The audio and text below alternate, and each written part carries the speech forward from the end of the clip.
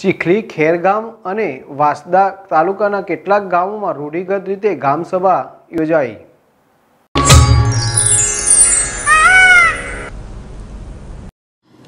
ચીખલી, ખેરગામ અને વાસંદા તાલુકામાં કેટલાક ગામોમાં રૂઢિગત ગ્રામસભા કરવામાં આવી.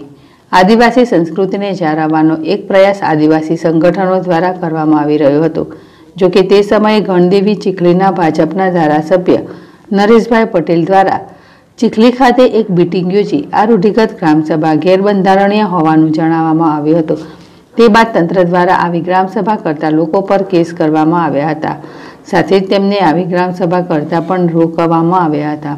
જોકે હાલમાં વિશ્વ આદિવાસી દિવસનો કાર્યક્રમ ચીખલીના માજીગામ ખાતે આવેલ દિનકર ભવનમાં યોજાયો હતો.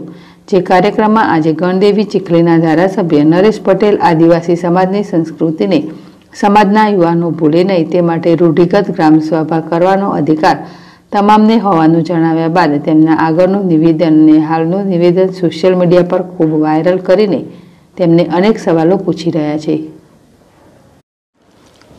હિતેશ વડેરા જેડેશ ટીવી નવસારી.